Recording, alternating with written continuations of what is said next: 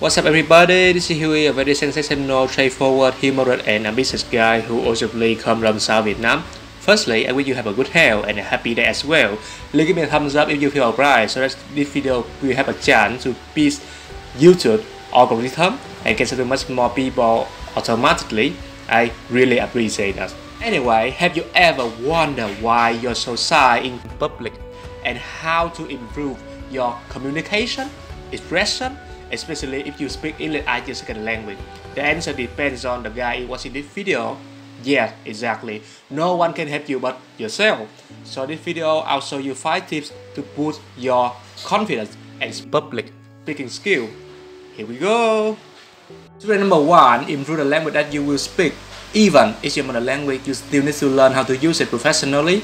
It will make audience have a good impression of you if you speak a foreign language, you don't have to make an emotional speak suddenly.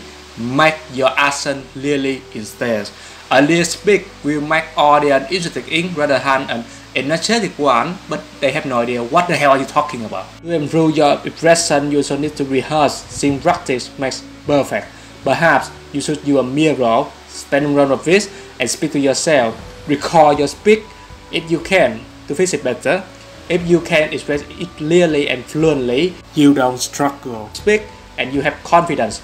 If you're not a specialist in the foreign language that you're supposed to speak, then you must improve it.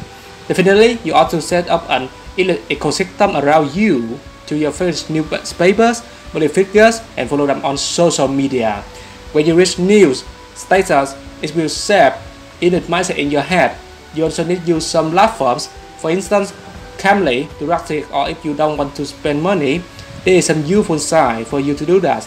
But Talk and Lingbe, these two apps help you to connect with people to have a casual chat or even debate. Talk with Strangers.com and Omegle.com a website simply help you to call with anyone all over the world and have a chat. Secret number two, bring life and reality into your speak. Your speak will not be realistic if you only read the text. Your story is also a valuable source you may tell audience that one, make a connection between your speak and your life. Even they don't know what are you or they don't you well, they only want to know your story if it's an interesting one.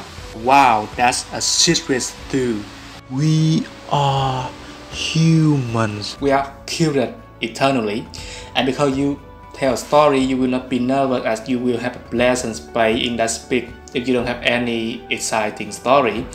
You should bring some example we connect with this word. If there are so many of them, try to memorize by talking voice and express by your words. Don't dump a written text into your mind.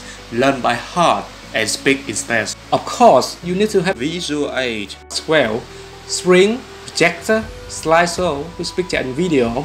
Audience will adore you because sometimes your voice is not good enough to persuade them to listen to you. Secret number three, don't give a damn about audience attitude. If you want to have a good presentation, you have to interact with audience. That's true. However, it's about your style, body language, and content. You make them feel excited. But just in case they react something isn't as you expected, even they laugh, mock, or appreciate you, don't care about it. Don't stop and please go ahead. If you try to notice what they react your presentation, you might through your plan. Your preparation only be perfect if you do it smoothly without hesitation.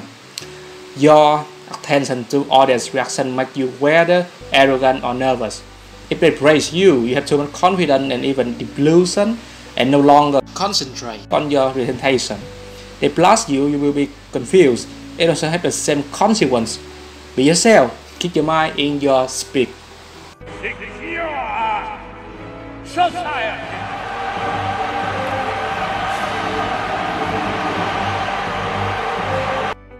I know some guys here will be confused when you want to interact. You look at your audience eyes and you are frozen. You lose your confidence for doing that. What are the most effective tips that you may look at the top of their head? You don't feel nervous, but your audience will think that you look at their eyes directly. It's a trick from their point of view. It doesn't have any difference as distance between the top of head and eyes is very close. Consequently, they cannot realize that. Secret number 4. Have a role model. One of the most popular ways to learn a new language is try to listen to native speakers. In this case, it may be the same. if you want to speak confidently in public. You should watch and learn from experts in this field. You should find some podcast or go on YouTube to look for videos of excellent speakers and learn not just their expression but also their body language. Your gestures sometimes help you feel confident and make audience pay attention to you speak more. Secret number five, put your feet up. Take a deep breath right before you start speaking. It helps you gain mental energy and sweep away your tremble. Don't put a high expectation on your presentation. Try the bright put a phone. Consider it a normal task. If you fail, the world is still fine. And also never finish your preparation just in nick of time. Com- complete it soon and spend one day or at least half a day to relax. Don't try to think about it anymore. It just make you nervous. It's law of attraction. You have positive thinking and you have positive result. Then positive thinking in this case is a comfortable mind. So my video got to come to an end now. I really appreciate you for watching and listening to me. If you like this content and you do not yet hit the like button, please give me a thumbs up and subscribe my channel for updating latest videos or information. I'm really grateful for that.